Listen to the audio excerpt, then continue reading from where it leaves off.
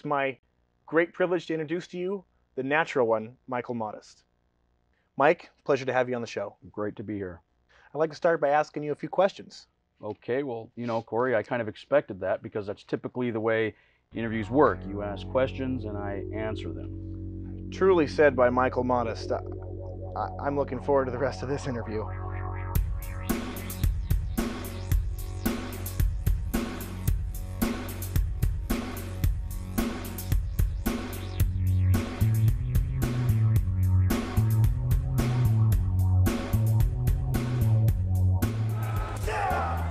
Mike Modest was really my introduction into strong style.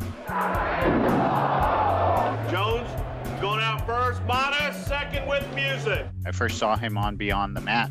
I learned about APW through that. I went to start going to their shows. The main reason was to see Mike Modest live. And then walking around like your shit don't stink amongst all of them with his bleach blonde mullet, Michael Modest. The dude, man, who was just so like intense in his training.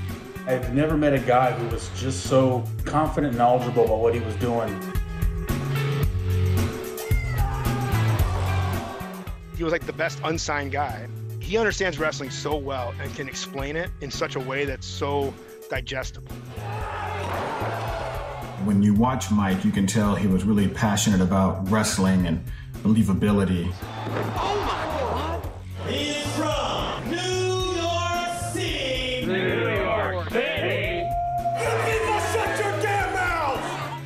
Mike, is that you?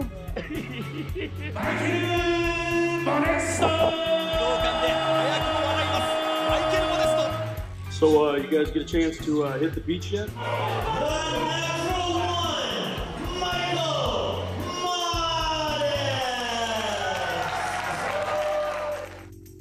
In order for him to beat me, he's got to lay my shoulders down. In order for him to take my belt, that's what he's got to do. Me, I might just get tired and walk away, just like I'm going to do right now. See you later. That was Michael Modest here. I'm originally from Berkeley, California. That's where I was born. My grandfather, Rocky, Rocco Carrillo, he was a scrap metal guy. He owned a scrap metal yard down in the Bay Area called RC Sales. I would go down there and, you know, do scrap metal work during the, the summers. I noticed myself actually getting built. I could see my shoulders coming out and stuff. That was a, I guess my first break into uh, weightlifting was working at my grandpa's scrap metal yard. This is Michael's grandfather. Oh. Michael's grandfather. 아, o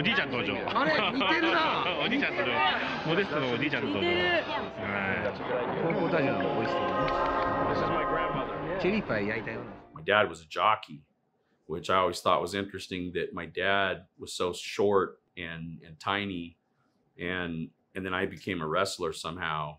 And it's kind of interesting too that my dad and I both ended up living out of a suitcase, just completely different sports. My dad was always supportive of the wrestling. He always really liked the fact that I smacked people around for a living, you know, and he liked watching my matches.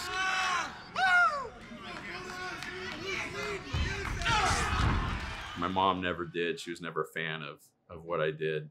I remember the first day I went to wrestling practice. I remember my parents were sitting on the couch and uh, I was leaving out the front door and and my mom said, uh, "So, son, um, you're not gonna do this like for a living or anything, are you?" And I said, "No, no, no. I'm just just having fun. I just, you know, it's just something to have fun." And um, yeah, famous last words. そして合体技を見せるかあっと場外でリアリティチェックの体勢だあ my uncle Rocky, when he would come over to our house, he would always take me and we'd go into the, my my parents' bedroom and watch wrestling. I remember watching like Moondog Mayne was one of my favorites. You know, he'd take that bone and smack people with it and stuff, and we'd get the pillows and have a regular, you know, battle royal right there in the the living room of my uncle's house. He's the one that kind of pushed me that direction, I guess. Introducing first from San Francisco, California, Jerry Jerry's the one that gave me my first break. He said, Hey, you know, have you ever thought about getting trained? I was 16 at the time. And I said, Well, I'm 16. I don't have a car. You know, I don't have a job. And Jerry was like, All right, well, tell you what, when you are 18 and if you can find a way down to Hayward, I'll charge you $25 a month to train.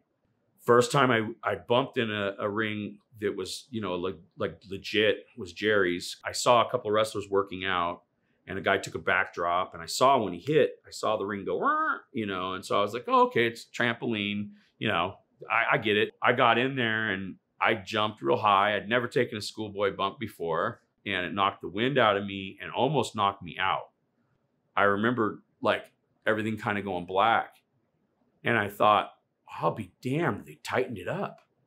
So I roll out of the ring and I looked underneath and I was trying to find the lever that they they hit to loosen the ring up. Jerry said, Well, how'd that feel? And I said, Oh, it's really pretty hard. I go, and he started laughing. I go, Do you guys have something to, you know, lighten it up? And he was like, No. He goes, That's that's it, kid. That's a pro wrestling ring.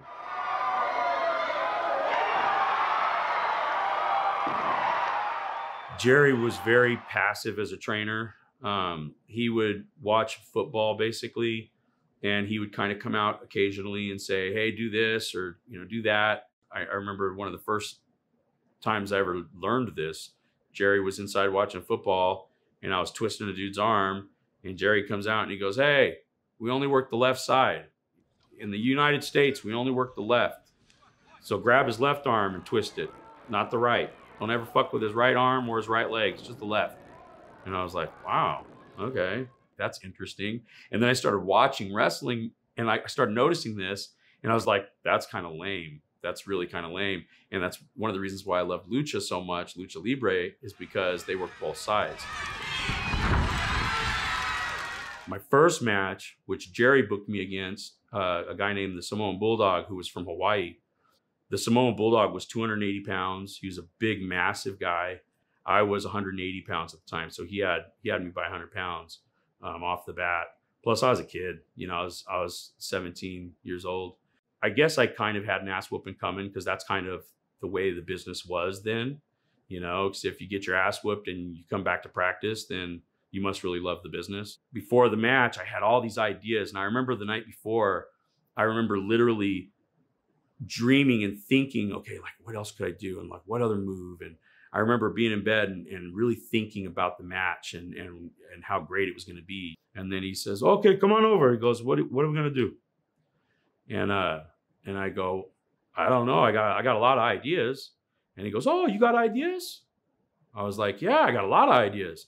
And he goes, oh, okay. Will you tell me, boss? Tell me your ideas.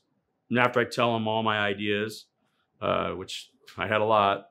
I had probably more ideas than Christopher Daniels, and that says a lot. If you have more ideas before a match than Christopher Daniels, you're really doing something. After I'm done pitching my ideas, I, you know, he says, uh, "Okay, we doing everything you say, brother. I like it. You the boss. Everything you say, I love it. It's good." I was like, "All right." I'll pull Barry Horowitz, patting myself on the back. I was like, I was like, this is awesome. This this guy, he didn't he didn't dislike not one of my ideas. And we get in the ring, and Samoan Bulldog gets in there, and the people are cheering him, and he's doing the crazy kind of thing, you know, looking all nutty. And and we go to lock up, and on the lockup, boom, he punches me right in my nose. It just exploded my face. My face looked like a red balloon, like immediately. There was so much blood. And I was knocked so loopy from the punch that, that honestly, the very first thing that came to my mind was, did I call that? Did I, did I say punch me in the face at the start of the match? And then he looks at me and he says, I'm gonna fucking kill you, brother. And he comes out of the ring at me. I started to run. The people start booing me. And in my little kid mind, I'm thinking, you know, I'm really a nice kid, and you people should all be cheering me because I'm running for my life right now. So I slide into the ring. He's coming in after me. And I thought, okay, I'm going to give him a kick, but I'm going to kick him. Uh, it's going to be a work. I'm going to kick him nice and soft, nice and light. So as he's sliding in, I give him a boot and um, He no sells it, stands up, and boom, punches me in the face again. As I was coming to, he was picking me up and looking at me, and he was like, It's okay, brother. It's okay, brother. And I, I actually remember thinking this about the guy too. Like I was so naive. I remember thinking that he was kind of him to pick me up off the mat. Isn't that naive? I thought, I thought, okay, he jumped me in basically. I was smart enough to think, okay, wrestling is the kind of thing where not everyone gets to be a member. So he jumped me in. And now he's being cool. He's smiling. He must be friendly at this point. He must have a little respect for me. And then he clotheslines me in the face. And then I was out. And when I came to, I was being drugged by a couple of wrestlers to the back. And I remember uh, my mom wanting to go into the locker room and kill him. I remember my mom telling my dad to go home and get the gun. Um, my mom was so pissed off that this guy brutalized me like that because my mom could tell it was not a work, it was legitimate. You know, I remember one show we went and, and wrestled, and two guys, uh, uh, Luscious Luke and a guy named Matt Moon, both shot with me in a battle royal. And I worked three times that night. So in the battle royal, Luscious Luke and Matt Moon, they took me in the corner and they put my arms around the top rope and they both pulled my hands underneath. So I was stuck. And then they started chopping me. It hurt like hell. And I was moving, I was trying to move, and it was stinging and stinging. And I remember at first, I remember thinking, okay, I get it. You know, this is what the vets do to the to the young guys. And then I remember there was a point where I, I became really pissed off and I felt like they weren't treating me like a human being. I saw blood flying. They were hitting me and I could see it misting in from the light and because uh, my chest had opened up. So I kind of gave up and they let me just sell down to the floor and I sold down and I, I had a singlet on and I pulled my singlet down and I could see that my whole chest was bleeding. And uh, I had welts up on my neck because not every shot was good.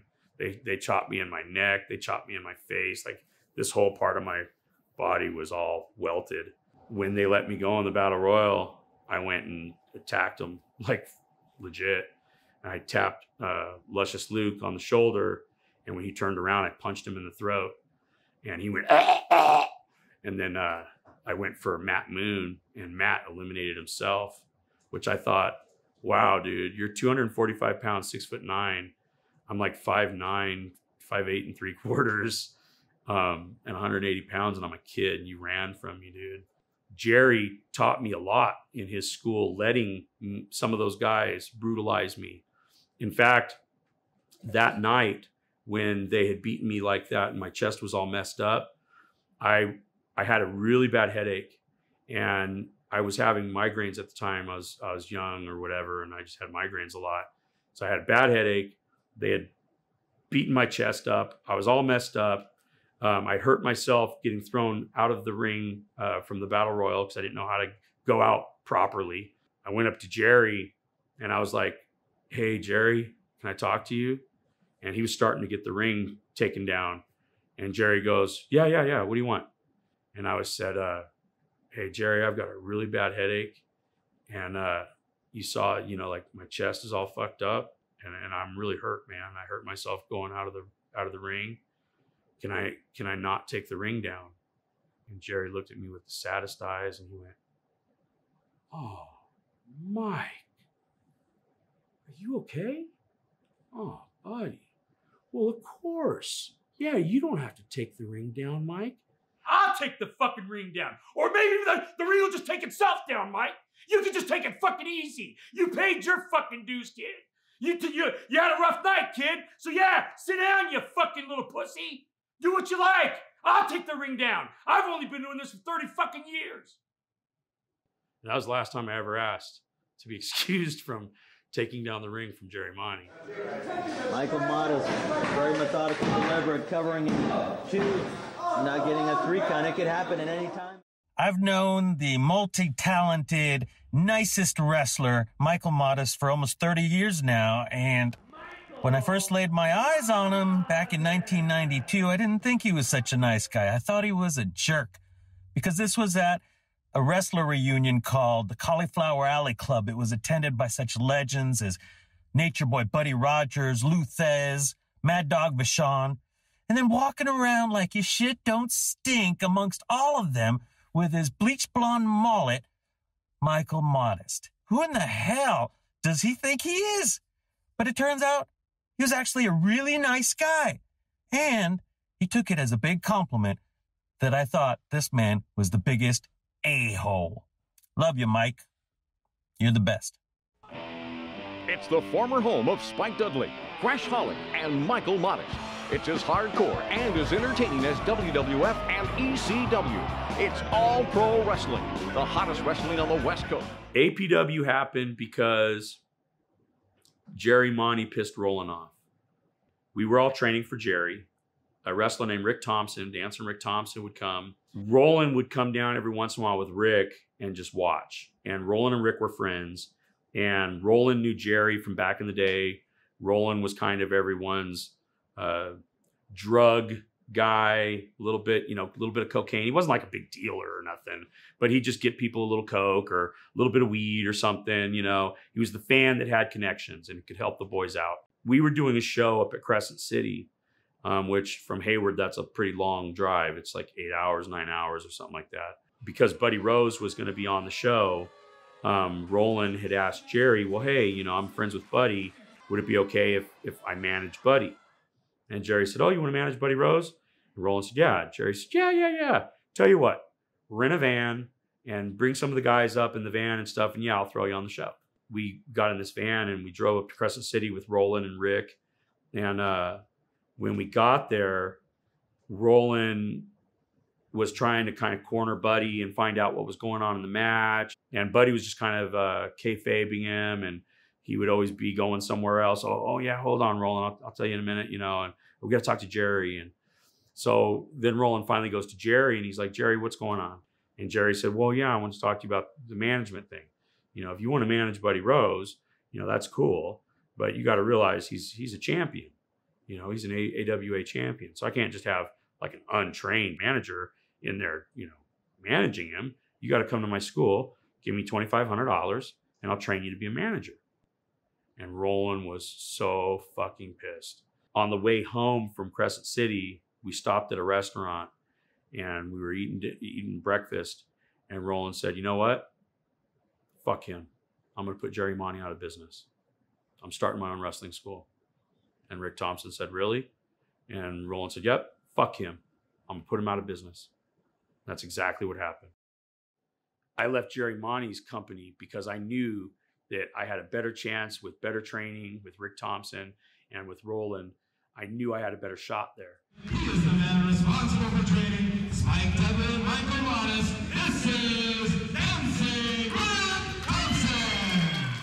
Rick, more than Roland, started APW. Roland said that day, Oh, I'm pissed. I'm going to run Jerry out of business and I'm going to open a wrestling school. And that same breakfast, he said, Rick, will you be my instructor? Rick said, Yeah. Roland said, Will you put together a, a, a, a list of the moves that you think are the most important things for a wrestler to know? Every guy that wrestles from APW, every guy that does an arm drag from that company, every guy that does a, a drop kick from that company, it's because of Rick Thompson. That manual that he put together has built a massive company.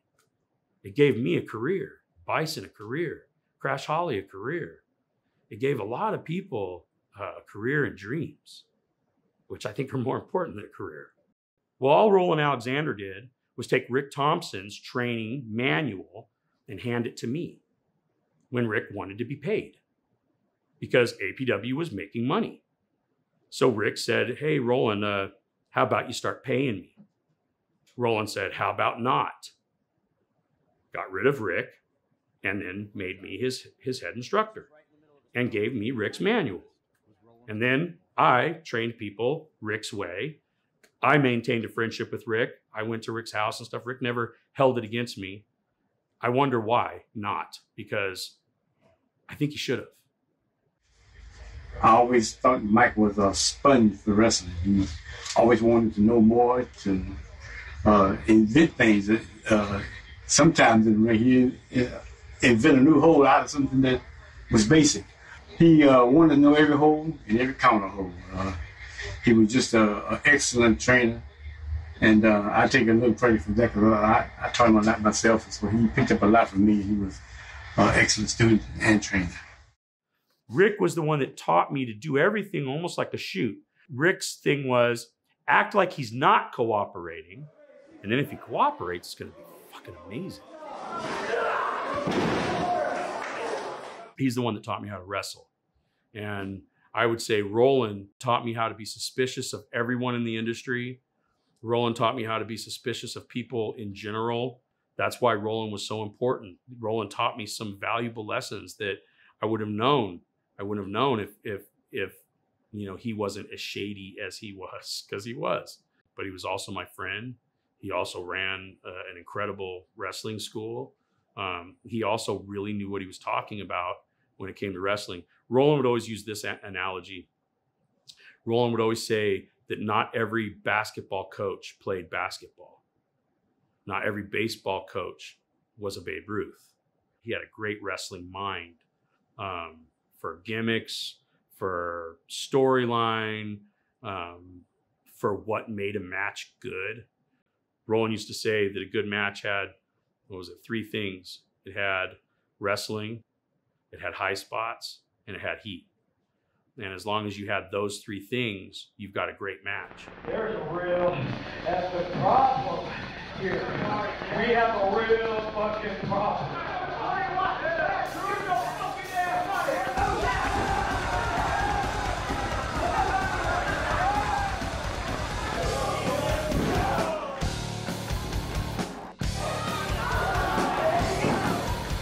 Gym Wars was fun.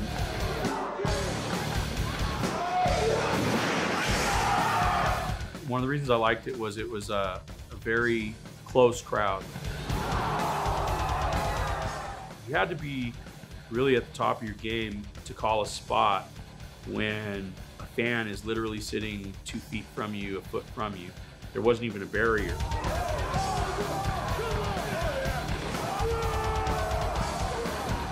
There was nothing stopping a fan from coming up to the apron.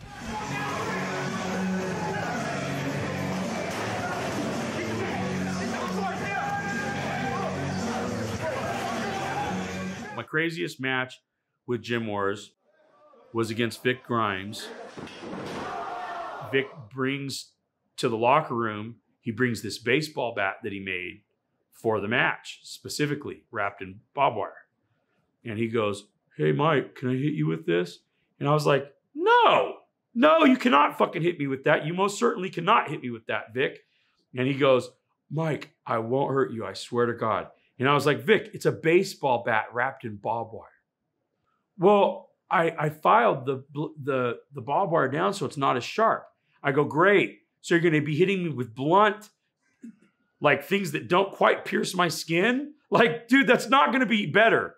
Like, like stabbing me with a knife is is almost better than stabbing me with a spoon repeatedly. You know what I'm saying? Like it's still gonna hurt stabbing me with the damn spoon. And he goes and he sits down and he's just sitting there pouting. And I go, Vic, are you seriously gonna pout because you can't hit me with a baseball bat? And he goes, Well, I made it just for this match, but you don't trust me. And I'm like, All right, Vic, you can hit me with the fucking baseball bat. Okay? You happy? Yeah. Cool. Where can I hit you?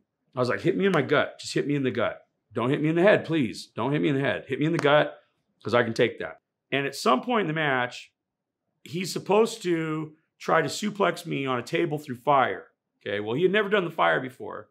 So he asked me, he says, Well, what am I supposed to use for the, you know, for the igniting?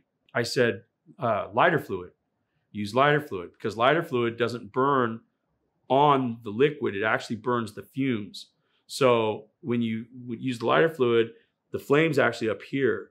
The liquid is actually not being burnt, and the object is really not being burnt, and it's not really going to be hot as hot as it will be if you use like kerosene, which is what he brought.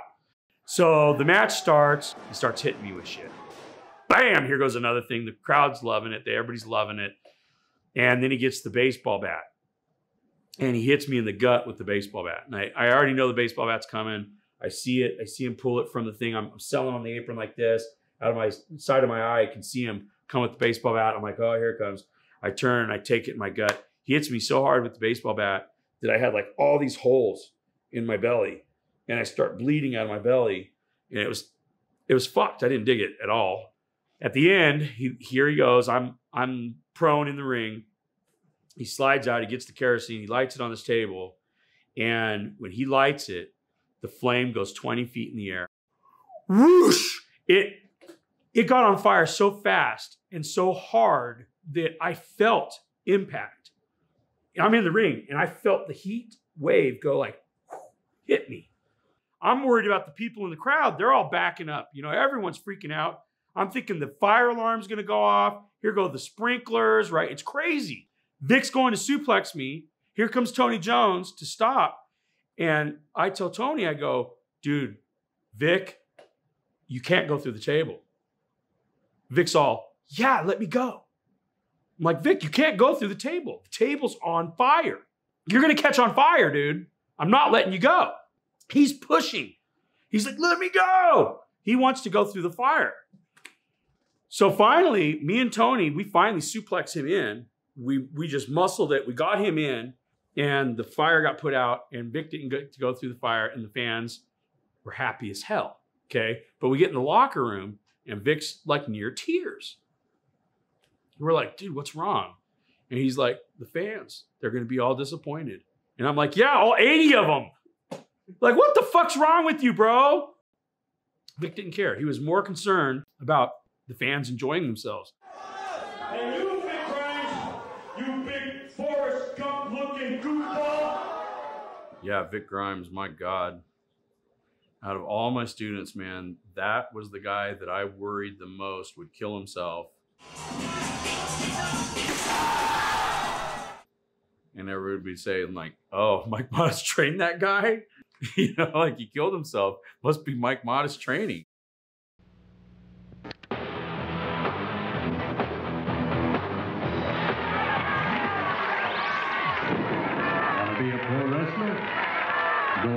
Go west, young man. was amazing. And that finishing maneuver, absolutely incredible. Hey, you. Yeah, I'm talking to you. Don't just watch wrestling, live your dreams. Call the All Pro Wrestling Boot Camp today. All Pro Wrestling. A lot of people, they see the entertainment aspect of it, and they think that's all there is, you know, when these guys are the greatest athletes, in, in my opinion, in the world. The dude, man, who was just so like intense in his training. I've never met a guy who was just so confident and knowledgeable about what he was doing. And, um, you know, for him, doing the stuff he had done and being in the ring with us training was pretty, it's pretty amazing to me. And we were beginners, you know, and he didn't have to run beginners camp, but he, he chose to. And um, it was just awesome, man, to be in there with somebody at his level um, and learning and just, you know, just trying to intake everything he was saying. And, you know, uh, he was the kind of guy like, you know, after practice, because we had a lot of trainers over there at APW. Uh, Mike was the one, even though he was the head trainer. If you wanted to see him after class and talk about stuff, you know, and, and ask questions, he'd, he'd stay and he would listen to you. And, you know, all the, the basic fundamentals that I, I've learned and I still teach, I've learned from Modest. Um, and uh, I, I just can't say enough positive things about my, my time there uh, training with him. The vibe at APW was definitely a brotherhood. Um, like I still count even the guys that I, I don't I don't even speak to anymore. I still count them amongst my best friends. You know, there's something that happens when you're in there with somebody and you're doing these moves to each other where it's supposed to look like it hurts, but you're protecting each other. You know, because the worst thing is to have someone's mom come up to you and say, "Hey, you hurt my kid." You know, like that's a terrible feeling. And we all got to know each other's moms, and we all got to know the kind of like each other's families. So we became a real tight like brotherhood. When I was a kid, I used to uh, think that I had a brother, and I used to always ask my mom about my brother. And it turned out that I may have been a twin, um, but my twin didn't fully develop. So I think wrestling kind of, you know, gave me that it gave me a lot of brothers. What about you and the shooter guy next week at Halloween Hell 3? Uh, shooter's a, a little tougher than Shane Dynasty, that's for sure. Not by a whole lot, but a little bit tougher. Um, you know, shooter's uh, I, outweighs me, of course. Oh, it's important for the shooter to remember one thing. You know, in order to be the man, you have to beat the man. I've got the title, so in order for him to beat me, he's got to lay my shoulders down. In order for him to take my belt, that's what he's got to do. Me, I might just get tired and walk away, just like I'm going to do right now. See you later. That was Michael Modest here. I remember the first time I met Michael Modest. It was at Roland Alexander's All Pro Wrestling Gym. I remember thinking, this guy looks a lot like Ray Stevens. About a year and a half after I met Mike, we were cast in Barry Blaustein's Beyond the Mat. In the movie Beyond the Mat, two young wrestlers receive a tryout with WWF. I remember feeling pretty comfortable that it was Mike I was going to be in the ring with because I was sort of green myself and I'm just learning my way around the ring. And I felt that Mike was seasoned enough that if things were to go wrong, he could carry us out of a tight situation. Well, things didn't go wrong. Things actually went very right. And I thought we had a very good match. We received good feedback from people backstage. And uh, Mike and I continued to get booked against each other um, or as a tag team for years after that. So I just remember it being a great experience. And I'm very happy for the time that I've spent in the ring with Michael Modest. The Beyond the Mat match with Tony Jones was about as perfect as a match I've, as I've ever had. I'd had a lot of tryouts with WWE. And during a lot of those tryouts, what would happen is they would tell you you have five minutes. And then 10 minutes before your match, they would tell you you have three minutes. And then as you're walking out, they would tell you you have a minute and a half or two minutes, you know. And so then you get out there, you really everything that you had planned on doing is all thrown out. You just have to kind of do your best and try. Tonight, you'll probably go on first or second early. Don't get nervous because the people are not going to know who you are because you haven't been on TV. So the most important thing is you're telling them the story. They're not telling you the story. So that day, when Barry Blaustein had approached me about being in the film and stuff, one of the things I I had made mention that I wanted if I was going to do that was I wanted at least 10 minutes in that WWE ring for my tryout. I wanted 10 minutes guaranteed. And Barry Blaustein said, okay, yeah, I'll, I'll make that done. Before the match, Jim Cornette said, yeah, you have your 10 minutes. Everyone said, you have 10 minutes. And I said, I'm taking my 10 minutes. As we get out there, the referee comes out, Jimmy Korderas. We start wrestling. Within our first spot, I'm, tell- I'm telling you, within, within 45 seconds, Jimmy Korderas is saying, go home. I remember I had him in a headlock. I had Tony in a headlock. And Jimmy Cordero said, Go home. And I said, Nope, I'm not going home. And I got up and we kept wrestling. The reason why I didn't want to go home was one, we were wrestling. So the WWE fans who didn't know who we were, they weren't immediately going to be going like, Wah! look at these guys doing headlocks, you know. And at the same time, I didn't want to be a jabron and jump right out there and start doing power bombs because that's not going to impress anybody either. Jimmy Korderas said again, and I could hear Bruce Pritchard saying, "Go fucking home." I could hear him the whole match telling Jimmy Korderas, tell them to go the fuck home and yelling and screaming. And Jimmy Korderas was like, guys, you got to go home. You got to go home. I was like, no, we're taking our match. We're doing this. And by the end of the match, we had the crowd in our hands and the crowd was loving what we were giving them. Now, the reason I wanted my 10 minutes was I had a premonition about being in Beyond the Mat. I knew what they were going to do to me. And Roland, again, being the shisty person that he was, was the one that had me thinking this way. I already thought, so what are they going to do? They're going to have me do a tryout, and then they're going to go, oh, he wasn't good enough. Oh, his match sucked, and so now he he's not a good wrestler, so he didn't make it. And I knew that's what they were going to do. I wasn't Droz. I knew who the big successful guy in that movie was going to be. Unfortunately for him, he got hurt. But he was going to be in that movie, he was going to be that success story. I was going to be the sad sack. And I knew that's what they were going to do. So I wanted my 10 minutes because I wanted to make it impossible for them to make me the sad sack. How do you make me the sad sack when everybody's eating up eating up the fucking match I'm giving them, and I do a fucking finisher that makes even the fucking boys pop. What is it? Oh my god! I've never seen that one before. I have never seen that before. That's pretty spectacular. Jesus Christ. I'm Stealing it. Huh? You gonna steal it? I don't know how many other wrestlers have ever done that in the history of the business, but I know it's a big no no. I was pretty sure that they would blackball me after that, anyways, which they did. But they used the other thing, uh, the Wrestling Secrets Exposed, to blackball me. These brave men are risking their careers, as well as their personal safety, to reveal what wrestling federations don't want you to know. There will be some people that are angry at me for what I'm doing here. Beyond the Mat and the Wrestling Secrets Exposed kind of came around at the same time. I was doing both of them simultaneously, which kind of confused me why WWE was so pissed that I did the Secrets Exposed when they were doing their own form of expose at the time. It actually pissed me off that WWE felt like I was exposing anything. Uh, Jim Cornette was very upset with me, and uh, I was actually, to this day, I would say I'm I'm more upset that I disappointed Jim Cornette than I am that I disappointed WWE. And the reason why I say that is Jim Cornette has always steadfastly believed in kayfabe, and whether people know or not, he believes that you should portray it as a sport. For Vince McMahon to act like we had exposed anything is just silly. You know, Repo Man, are you fucking kidding me? You know, come on.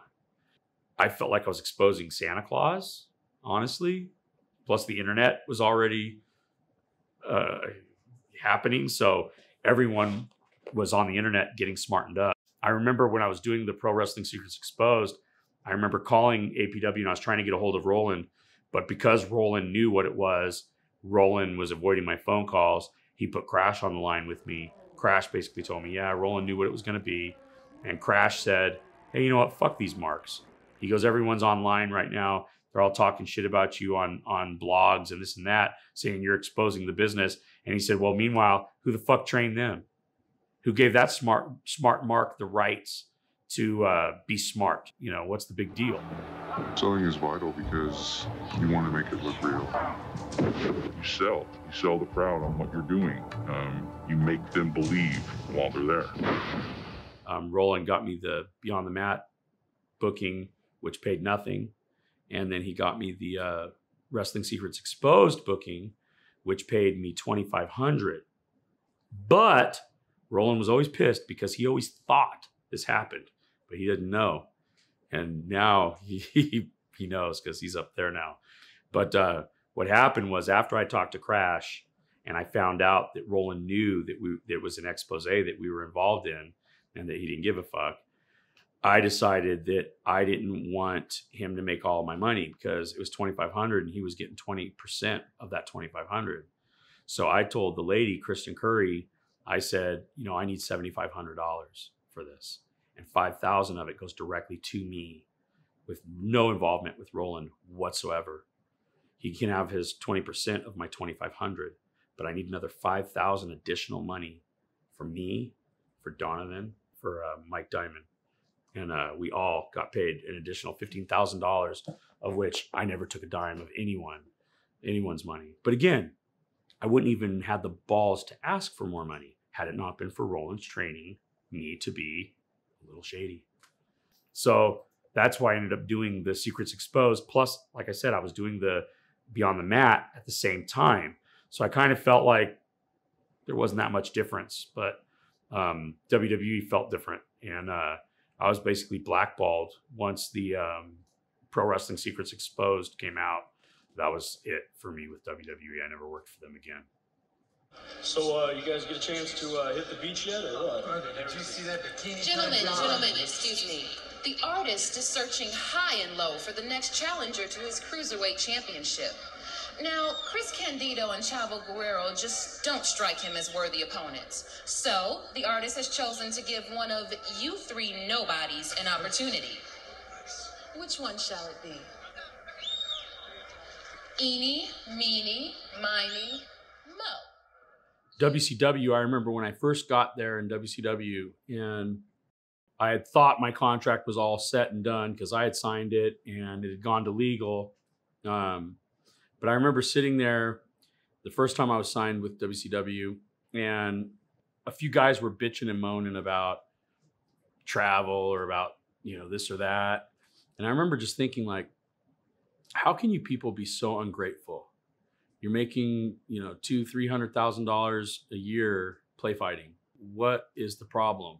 Why are you so ungrateful? Why you know? Years later, I would look back on that and I'd go, "Oh, I get it now. It's a job." They, you know, there's a point where it stops being just fun and it becomes more of a job.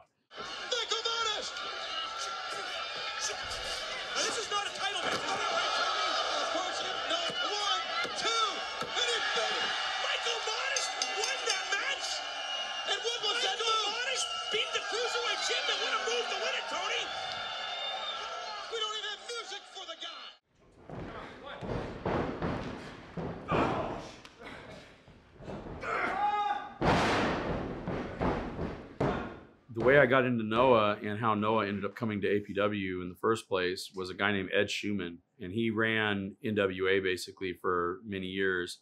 Ed, I had met him at some show on the road somewhere, and and when I landed, um, there was no pot, no one was smoking pot, and I was like, I sure would like to smoke a joint, you know. It was in Chicago, so luckily Ed Schumann had a joint, and Ed Schumann had lots of pot, and um, Ed got me baked and then Ed would send me care packages every once in a while.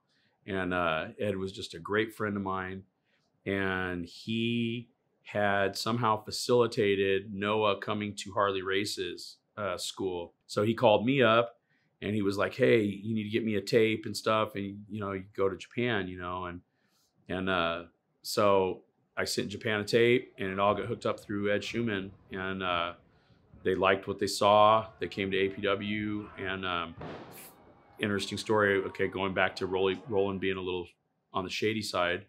Um, when APW got the opportunity for Noah to come, I was no longer instructing there because Roland didn't want to pay his instructors. Okay, so he had found his next sucker, who was Bison Smith, to be his full-time trainer, making no money. And uh, so Bison Smith was his head trainer when I called Roland to hook up the tryout with Noah, I told Roland Bison was one of the people I wanted at the tryout. Roland said no. And I was like, well, why not? And he goes, he's not ready. Bison's not ready. And I go, dude, you are such a piece of shit. How can you say he's not fucking ready and he's your head camp instructor? So I hung up. I was pissed off. Roland called me back and was like, okay, well, he could be a part of the tryout, but I mean, uh, he's just not ready. And of course, he was ready. Noah swooped him right up, you know, and he ended up going to Japan with us.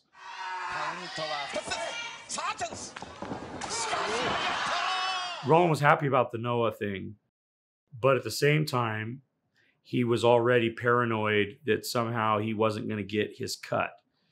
He was concerned that Noah was paying me, Bison, Donovan, and he wasn't going to get a piece of it it was bothering him because he knew he also didn't have a leg to stand on.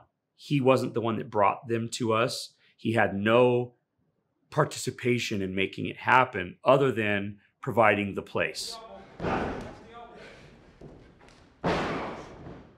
That's what led to me leaving APW was uh, I had wrestled a tour. I was sick. I came back. He wanted me to drop the belt to Adam Pearce. Actually, he wanted me to wrestle Adam Pearce I suggested that I drop the belt to Adam Pearce because Noah was going to be booking me pretty much monthly and I wouldn't be available for, you know, defending, de- defending the belt. So I suggested that Adam Pearce beat me, um, which they, they did that. And then the next time I wrestled for Roland was against Bison. He wanted a 25 minute match. Bison gave me a suplex on my head about 11 minutes into the match and it gave me a concussion. I was I was literally out on my feet. I didn't know where I was. So Bison kind of helped me through the rest of the match. We went home, we finished the match.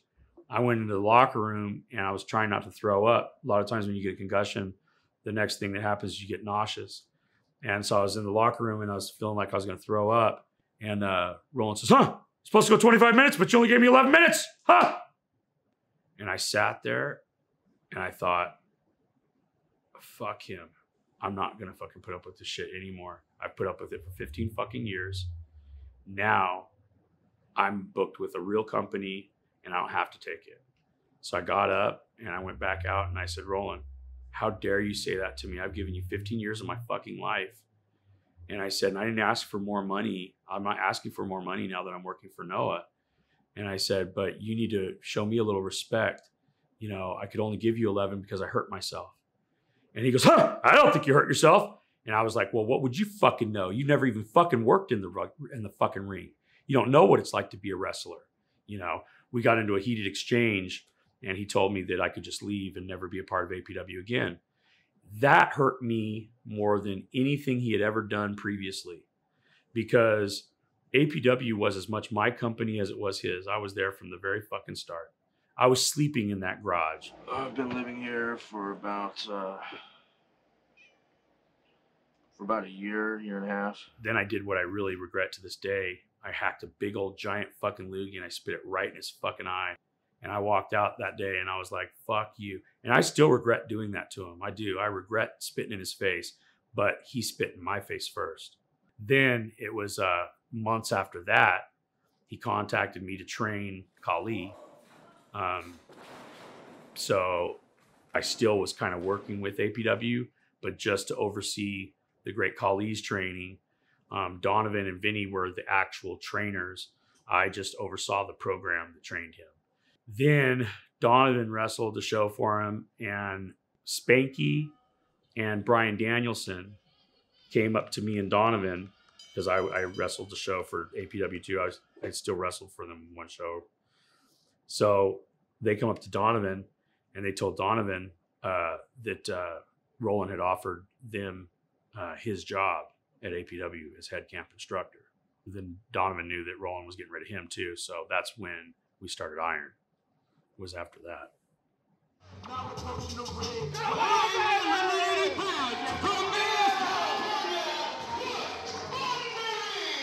Uh, Michael Modest for me when I first started watching wrestling, um, or first saw him wrestle, um, I thought he was great. I thought he was uh, super good, um, underrated, uh, one of the best unsigned talents. He was uh, uh, wasn't always uh, there to train, but when he was there to train, you knew that it was going to be a physical, um, super hard um, and super technical class. Like he doesn't let you just do the move and uh, you know get into the back of the line. He makes sure that you do it correctly every single time. And that was just the type of teacher he was. He didn't let you, uh, you know, mess around and you know half-ass things. He wanted it to look legitimate and professional and crisp every single time. So uh, that was the great thing about Michael Modest, And you know, uh, really contributed to your game. So then when you went out and you wrestled somewhere else, uh, you stood out because you were doing everything uh, correctly or the way that uh, it was taught by him, which I think was the correct way.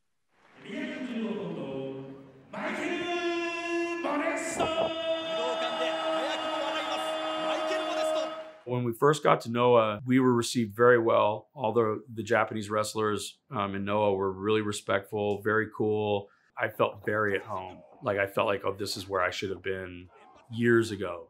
Um, I'm a I'm a huge fan of All Japan.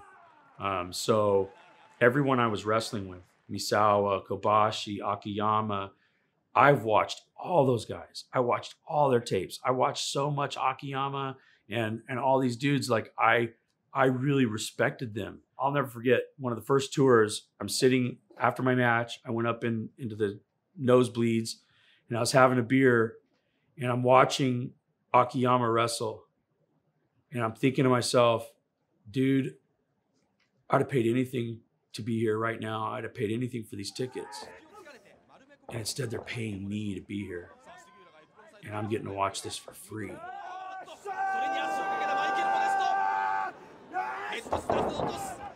Wrestled there five years, and uh, we couldn't have done that if if all those guys hadn't allowed us to make that our home, you know. Marufuji, Kenta, Kobashi. Um, Kobashi, he doesn't like American wrestlers all that much. Um, he, he thinks a lot of us are lazy, which is probably right. Um, but he's like one of those guys that you respect so much because he works harder than you and he has more than you and he's a bigger name than you. And that's how the Japanese wrestlers by and large are. A lot of them are just they're they're such workhorses, you know, except for. Taue is the only one that's not. I like Iji. That's what he would always say. Oh, Modesto-san, I like Iji.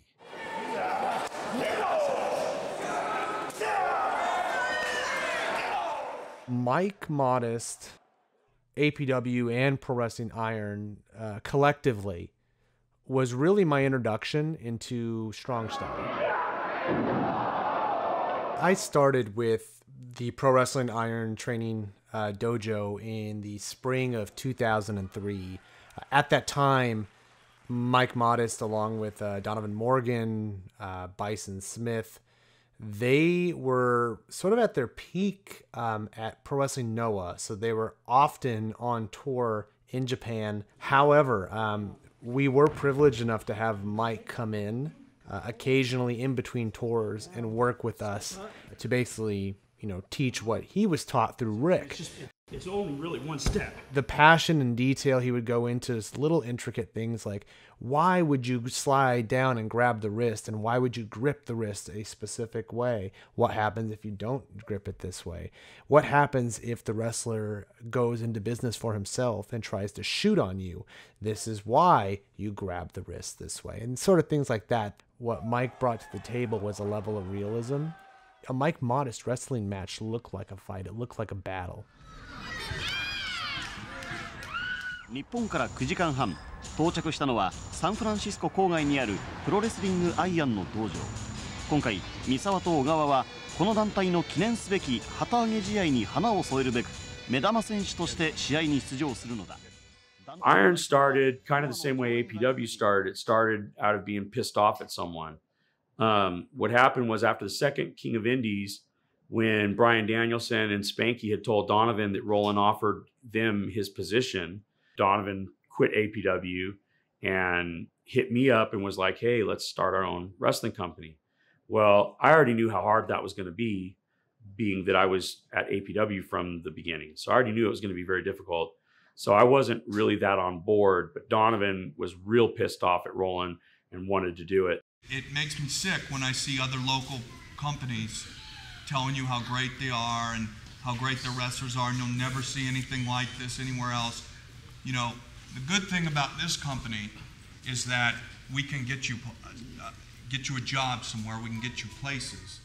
Donovan fronted the money for the ring, and uh, you know he just basically started going for it, and I supported him, you know, basically, and and was there with him along the way. We wanted to be more of a company run by the boys and for the boys. We tried to kind of do a different kind of product. Even the way we explained our guys was different. We called them fighters instead of wrestlers. Uh, Bison, for example, we talked about uh, the fact that he was a, a football player. Uh, this guy's got a European style. This guy brings boxing to the element. You know, um, we were trying to do that to kind of show how each guy um, brought different strengths.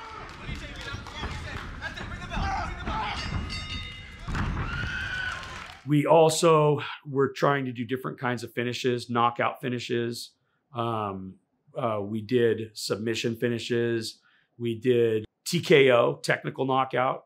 We we did a, a, a match one time where a guy's leg was so hurt that the the referee checked the leg and called the bell. He was like, "No, he can't continue," even though he wants to. Me as the official, I can see that his leg is not able to take it anymore. So called the match. So we were trying to do some things that were very different, you know, from what regular pro wrestling was doing. You know, and I, I think some of it was successful, some of it wasn't. You know, some of it it's very hard um, to retrain wrestling fans sometimes, you know, especially when they're being uh, educated by one mass company that says, hey, this is the way it is. When Pro Wrestling Iron came around, independent wrestling, we were still trying to tell people, hey, man, it's as good as WWE. In fact, better because you'll be able to get autographs and these wrestlers will actually talk to you they'll give you the time of day. They're not superstars, you know. So you'll see a great match. Plus, be able to actually interact with these people. And then you'll be able to say, oh, yeah, I knew him before he went to WWE and stuff. Trying to get that message through to people took a long, long time. And Pro Wrestling Iron was right on the cusp of that, you know. And I really believe that had we stayed around for another couple of years, um, we would have been a major uh, company in the United States. But uh, it wasn't meant to be. Mike Modest, do you have any comments? Yeah, well, Vito, you're very, very welcome. But unfortunately, after tonight, you're not going to be very thankful to me for giving you the shot. I plan on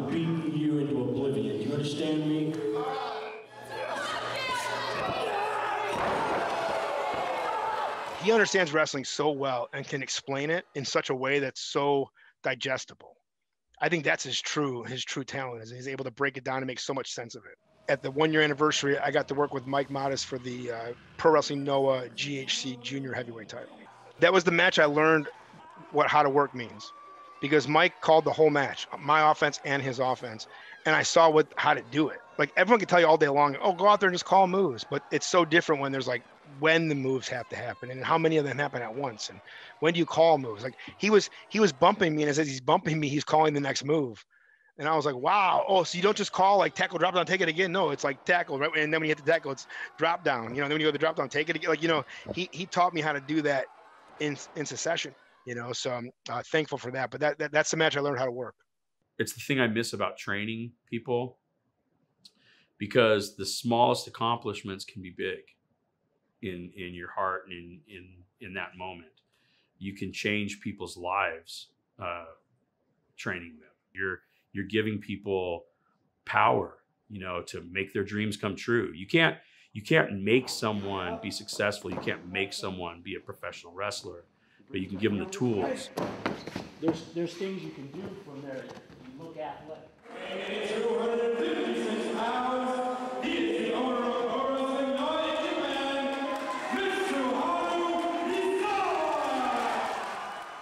When Iron produced its second show in Fairfield and we brought in the Noah talent, we were hoping to just get like one guy.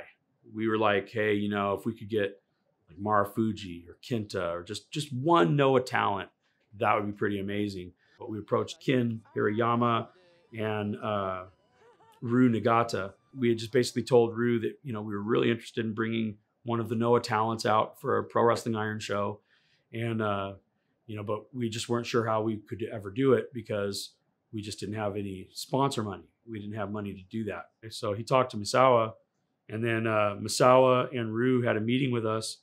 They had it shown that uh, Misawa and Ogawa, all the guys that came out, Omori, that they were all going to come out and that Noah was going to pay for it. The way Noah ended up having it paid for was they had uh, NTV out in Japan came and filmed it as like a, a TV special.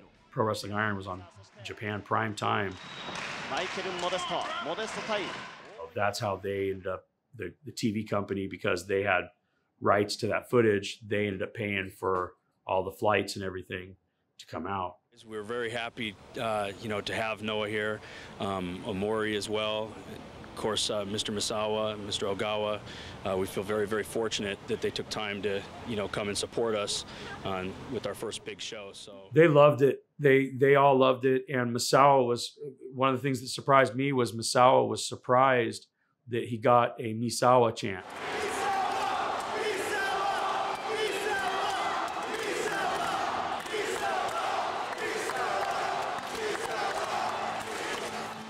that happens every time in Japan.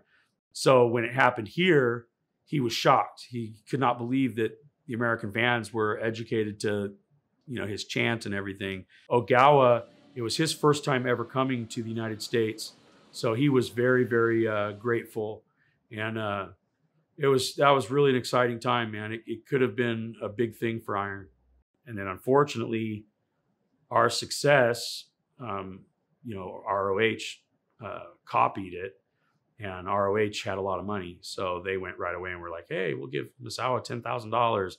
We'll give Marufuji seventy five hundred dollars." And so once that money came out, we were out of the picture, uh, both pretty much as talent and as uh, um, as our own company because uh, Noah was not going to be bringing us out anymore once they started a development talent with or uh, deal with ROH. Their guys were getting a lot less seven seven hundred and fifty dollars a week. I was making thirty five hundred a week. You know, so I knew the writing was on the wall at that point. When ROH guys started coming, I was like, oh, we're we're fucked. We're not going to be able to make this good money anymore and I can't come over here for seven hundred and fifty dollars because I'm not a weekend warrior. I have a family to support. I have a house to pay. I have bills.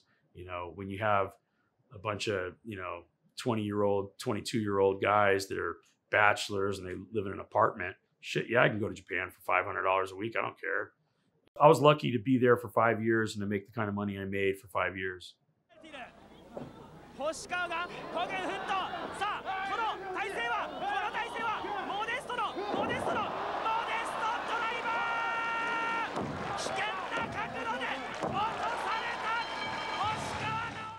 I heard about Misawa dying. Um, I was already not working with the company. Bison was wrestling for Puerto Rico and uh, Japan. Uh, Bison was actually in the match with him. Bison told me that when he was watching watching it, he he thought like that it was like a work, you know, that like somehow there was a work going on that he wasn't aware of, you know. And um, he said when he saw when he saw that it wasn't, he knew it was real bad. It was sad, man. I, am still really sad that Misawa died, and uh, you'd think a lot of wrestlers would like to go out in the, in the ring like that, but no, I don't like that he died in the ring like that. I would have rather him died at home, relaxing, than in the ring because then the other guys wouldn't have to carry that with them, you know.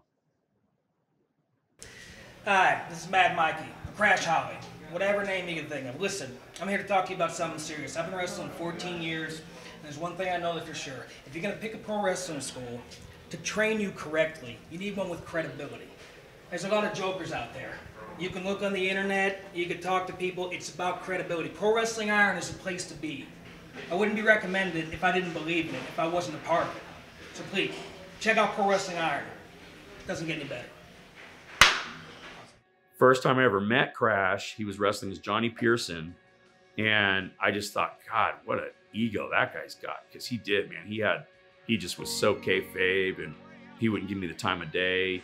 And uh, I just thought, what a, what a dick.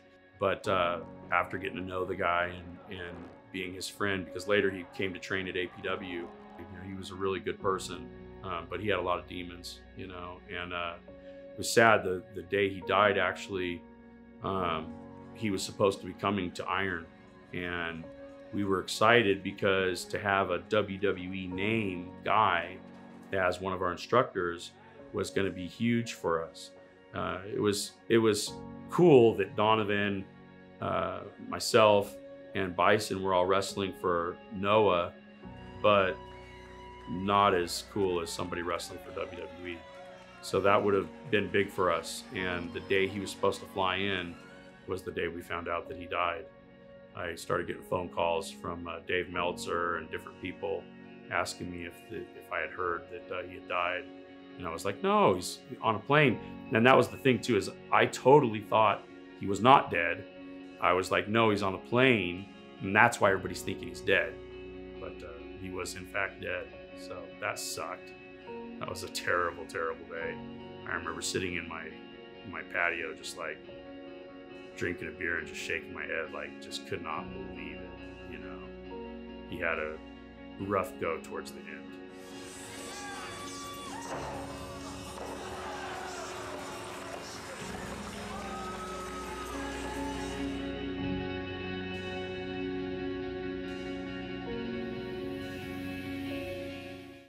You may be wondering how I'm going to achieve those dreams. Well, they're going to be through you, Mike Modest. Mike Modest, the man with the APW Heavyweight Championship belt around his waist. Mike Modest, the guy who starred in the major motion picture Beyond the Mat. Mike Modest, who's wrestled for almost every promotion in the world. I'm going to go through you. I'm going to prove myself to you. I'm going to prove myself to all the fans of APW in attendance that night. You got to go through me, and I'm going to go through you, Mike Modest. Bison Smith. Gosh, I love that guy. Um, Mark Smith was something else. When he first joined APW, he he had called me up and he had really built himself up. He had told me how he's this big superstar football player and this and that. He's real strong and yada yada. Then he sent me a uh, an email from his email account, but it was from his wrestling coach. So it was basically this: if you want someone that's really going to be a great wrestler, you want Bison Smith.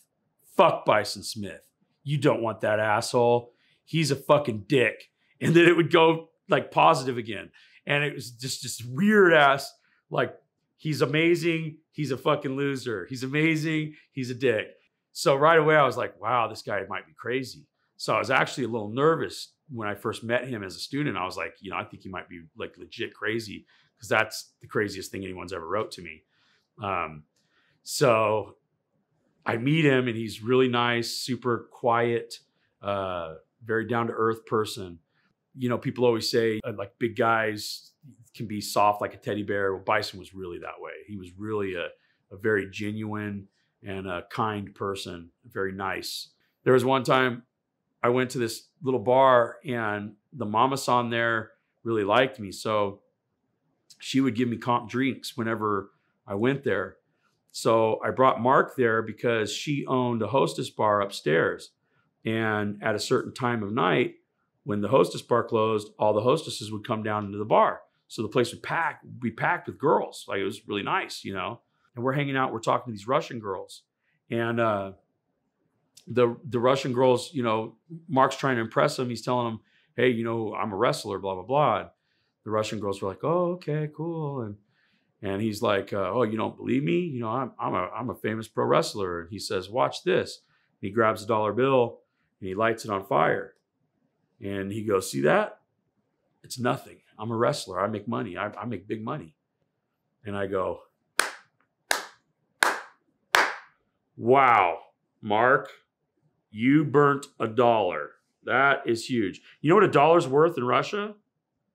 A dollar. Still worth a dollar, Mark. It's not impressive. So he goes, Oh, you want me to impress him? Okay, fine. So now he pulls out a 20. He lights up a 20. He's talking to the girls. He puts it in the ashtray. I put it out and I put it in my pocket. For two hours steady, he's burning money. Every time he burns it, I'll say, I'll go, Hey, Mark, your money's done. It's burnt. He'll go, Oh, okay. And he'll grab more money and fucking burn it, pull it right out of the belly bag and fucking start burning it, right? And these Russian girls are just like shaking their head, you know, and he's burning all this money. And we go home, and the next day on the bus, I'm on the bus. I get on the bus first, and Mark gets on the bus. He's so hungover. He looks so sad. He sits down. He looks back at me and he goes, Mike, the fuck happened last night? I go, What? What do you mean? And he goes, Oh, dude, I lost like $3,000. I go, $3,000? He goes, yeah. He goes, my whole draw. He goes, it's all gone. And I go, well, would it surprise you to know that you burnt it all? He goes, fuck me. Get the fuck out of here. I burnt my money. I go all night long.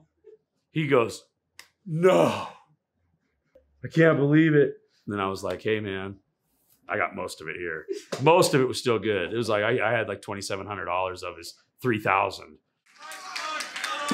PWI for life, PWI forever. リング上は杉村ボディスラムを打ったモデストエルボードロック試合開始直後から早くもこの展開 ませんそしてドノバンスマイルです大きく湧き出す I had seen a match one time a long time ago where Shawn Michaels did an elbow drop, he did another elbow drop, and then when he was going for the third one, he stopped and he stepped on the guy and just kind of walked around prancing. Well, my first tour to, to Japan, we had a press conference, and the press conference went really long. And then they're like, okay, it's done, it's over. And I'm so happy. I'm like, oh, thank God. I grab a beer. I'm like getting out of there. One of the office people goes, oh, uh, Modesto, please, uh, maybe one more hour. And I was like, for real? One more hour? They were like, yeah. I was like, oh my God, okay, yeah. Because I'm trying to be gracious, but at the same time, I really don't want to be there. Okay. I actually got it from two things Shawn Michaels doing the move, and then I also got it from uh, Lex Luger. Lex Luger was on the Bruise Cruise, and one of my students, Sean, had gone on this Bruise Cruise, and he showed me the videotape of the Bruise Cruise. And here's Lex Luger standing in line with all these fans waiting to take pictures with him. And he's looking like this. He looks so irritated to even be there, right? Then the fan comes up and he'll be like, okay, come on, come on. He grabs their hand, ready? Camera's like, yeah, ready. And then Lex would go, and they'd snap the shot, right? And he'd go like, thanks. And he was just being a dick. So when the media wanted to still take more pictures and wanted us to stay for a little while longer, I was kind of feeling a little like that. I was feeling a little like, fuck you, I really don't want to be here. So when they said, "Oh, please, more more pictures, okay?" I went, "Yeah, fine." And they went, "Whoa!" And camera started going crazy. And I was like, "What the fuck?" I, I only did a sarcastic, like over exaggerated smile. They went crazy for it. Then I found out Japanese culture, men don't smile. It's a sign of weakness. So when you meet a, a man in Japan, typically they'll try to keep straight face unless they don't mind putting you up, like basically calling you a senpai. Like, so a Japanese fan that is coming up to me, they'll smile because they're meeting Michael Modest and they don't mind putting me on a pedestal. I am up higher than them. So it's okay to smile to me. But if you're meeting like Misawa, for example, Misawa hardly ever smiled.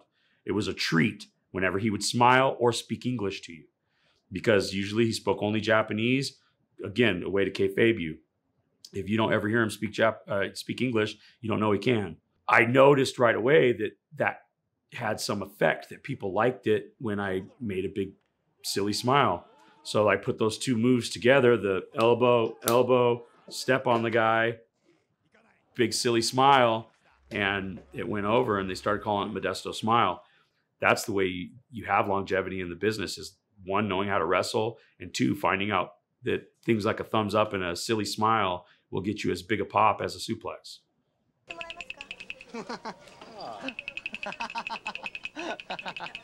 the industry today, when I look at it, I, I, love it because I see so much wrestling. There's Ring of Honor, there's uh, Hollywood Wrestling, there's there's so many companies out there, Major League Wrestling, uh, you know, WWE, of course. But there's so many companies and so many guys are are getting that opportunity to to do what they do. Um, it's it's a lot less restrictive on what you can do with your gimmick. There's a wrestler right now, Cereal Man. Um, he wrestles for Hoodslam. First time I ever saw him was down in LA, and I loved it right away. I was like, "Oh, Cereal Man, that's great!" You know, like who doesn't love a good cereal superhero? You know, and that's that's his whole gimmick. He's Cereal Man. You know, it's just awesome. Back in my day, if I would have ever said to Jerry or any of those guys, "Hey, I got this idea." be cereal man, you know. And when someone starts beating me down, I take some milk and that gives me my power up. And, you know, like, what do you think? I'd have been laughed and you know, probably shot on and uh, beaten out of the business. Let's try to get a word with them. I'm worried sick. I'm worried sick. I don't know what's what? going on. Uh, Dino's been fired. Tiffany Love has been taken from me for 30 days. I don't know what I'm going to do, man. I really don't know what I'm going to do. I do know what I'm going to do. What, what is he doing? Mike, no, we talked about this. What's he doing? Mike, no, Mike, we talked. Mike, no! Mike, you, Mike, you can't. We talked about this. What is he doing? I got a legal doctor. Oh, no. I got a legal doctor. No! I can't no, do it. You leave me alone. I miss you so much. I miss you so much. What's he doing? You're poisoned. He's poisoned. Where's he doing now? No, you can't light yourself on fire, Mike. Please. Mike, no, no, don't do this, Mike. Don't Oh, do this. you can get her back. 30 days isn't so long. 30 days, Mike. I can't take it. I got it. Here, I miss you so much, man. You put this on. You put that on. She wore that. I want to see what it looks like. I miss her so much. I can't. Put it on. Okay, Mike. Put it on. It's on. It's on. Come here. Oh my God. And I don't know how the business is nowadays, but I know how it was in Japan, you know, and you felt it.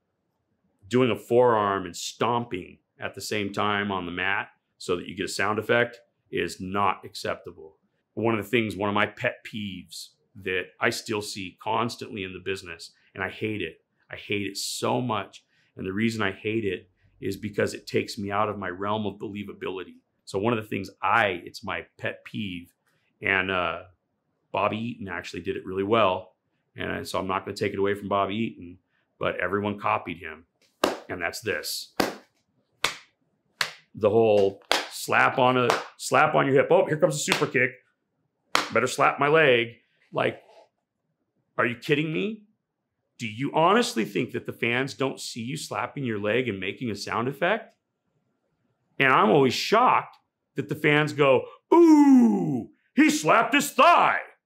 Wow.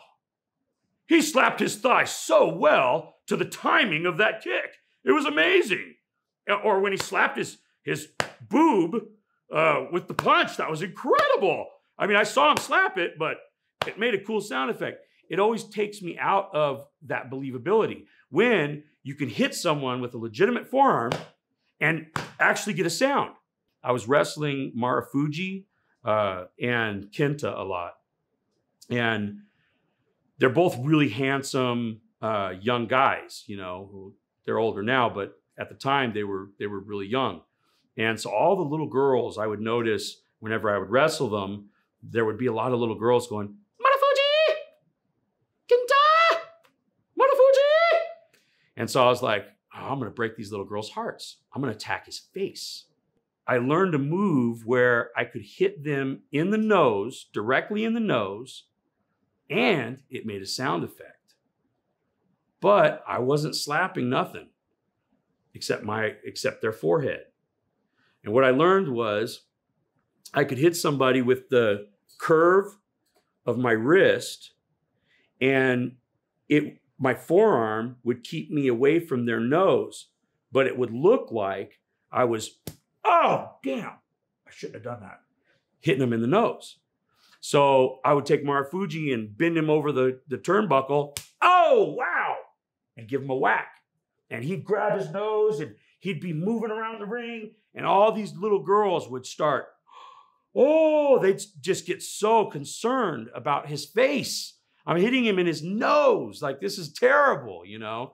And so it's like, I, I would challenge wrestlers, like, you know, if you want the move to have a sound effect, man, figure something out. Figure out a way to hit them where there's a sound effect from the actual strike. I hate things like that. Yeah, everybody knows it's a work, but we're supposed to be professionals. Magicians don't do things right in front of your eyes and then say, "Oh, admire me for my magic." You know, like like I mean, they they do it right in front of your eyes, but they don't show you the trick right in front of your eyes, and you know, it's like that's just lazy to me. Ladies and gentlemen, the APW Wrestler of the Year, Michael Modest. First of all, I want to thank everybody. Uh, you know, couldn't be the wrestler of the year without everybody that I've worked with in the APW rings. Um, you know, Boyce, Bomber, and, and where is Bomber, by the way? He's handling player business. Oh, okay, okay. Thank you, everybody, for taking care of me in the ring. Um, you guys are the best workers in the, in the business, as far as I'm concerned. Thank you very much.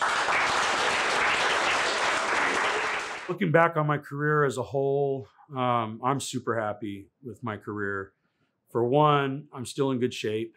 I still walk around pretty good. I, I don't have a really, really bad limp. I only have a slight limp, which is good.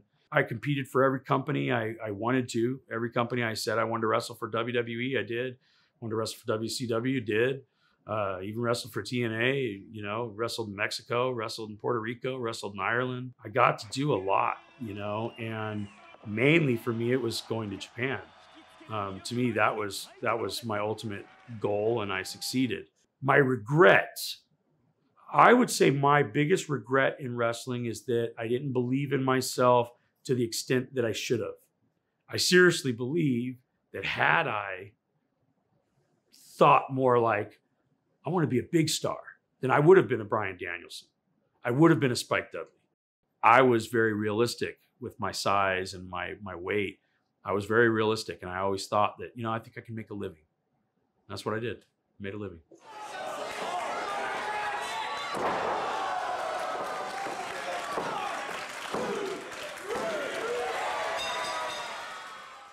I, I, didn't retire from wrestling, but I stopped actively finding bookings. Uh, I don't try to get booked. If something came up where it was good money and I liked it, I'd probably do it. My body is still physically able to do it, uh, you know, so that makes me kind of want to a little bit. Um, and the whole COVID thing, the fact that now you can't wrestle, now makes me want to wrestle a little more. You know what I'd love to do more than anything? I'd love to get a ring. I'd love to buy a ring. Uh, usually you can get them for, you know, three grand, $3,500. I'd love to buy a ring and train a couple of guys and uh, start running some shows again. I'd love to, I'd love to bring iron back and start running some shows. You can make, you can make good money as a promoter. Uh, one of my students from FSW, Kevin Cross, uh, he's having a really good run right now with, with uh, NXT. Um, when he went to one of the uh, WWE tryouts, he had mentioned to me when he came back, he said, Hey, you know, why don't you go there and be an instructor? I don't see myself moving somewhere to be an instructor for WWE or anything like that. I'm, I'm really uh, proud of my former student, Sara Del Rey. She is now the head uh, women's instructor for WWE. Um, super proud of her. She's just an amazing talent, always has been, always has been a really hard worker. The other thing I'm doing is I do a lot of acting. I was on a 13 Reasons Why, um, uh, season two, episodes 11 and 12. Uh, that's on Netflix. You can check me out on Netflix on that, on uh, Beyond the Mat, which is currently playing on Netflix. And I, they actually um, have my win from the WWE tryout as one of the uh, freeze frames for the film um, on Netflix. So it's kind of cool. You can see all that emotion. And uh, who knows? I, I might get back in the ring at some point. And uh, you know, I have to say as well, I now have a beautiful little daughter, Harlow Ray Cariglio, who is just the love of my life. Um, I'm with her mom. Her mom is my partner, and we have been together for 10 years and uh, still keep in touch with my, my two sons from my previous marriage, Michael and Jack. Uh, very happy being a family man. One of the hardest things uh, when I wrestled for Noah was asking for my first son's birth off and the company gave me the tour off. And then they said to me that uh, they understand Western culture, but please understand Eastern culture. And this will be the last time we let you off for something like this. So when my second son was coming, um, I had to be on tour when he was born. And that was heartbreaking. I remember wrestling at the Tokyo Dome in front of 60,000 people. And I'm looking at myself on a Jumbotron. And all I could think was, I just want to hold my sons. I don't give a fuck about any of this. None of it. I always appreciate you, Mike. Um, I, I hope that you continue to take some kind of a role in the wrestling business, even if it's just a level of coaching guys in the local scene.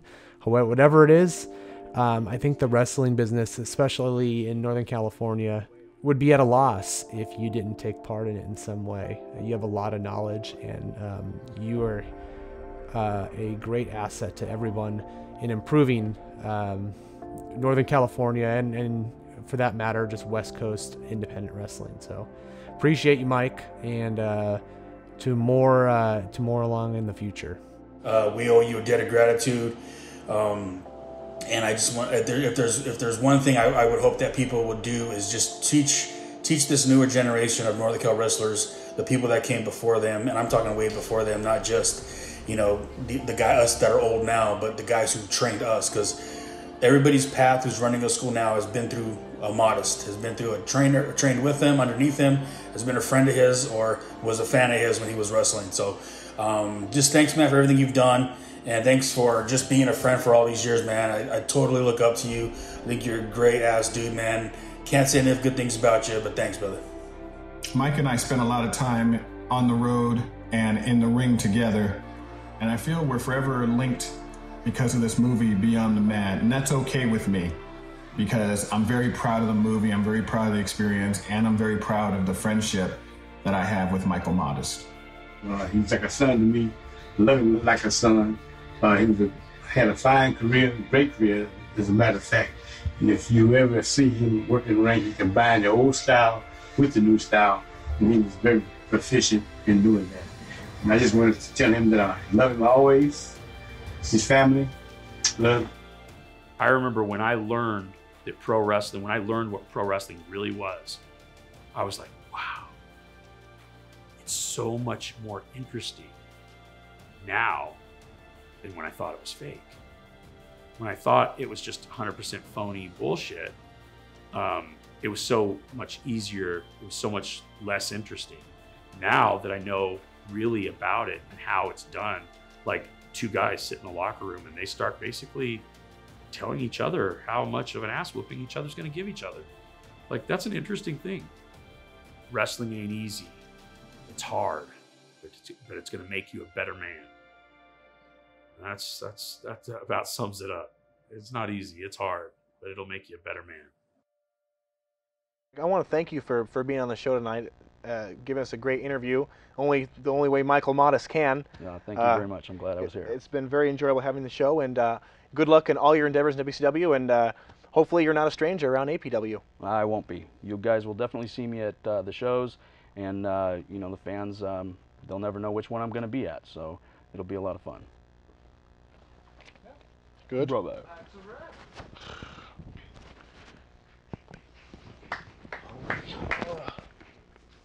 That was a that was a quite a session. Yeah, well, it seems like that every week. It'll be better. Hey, look, get this on tape.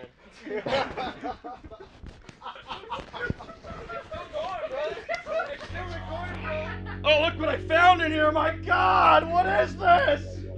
Ah!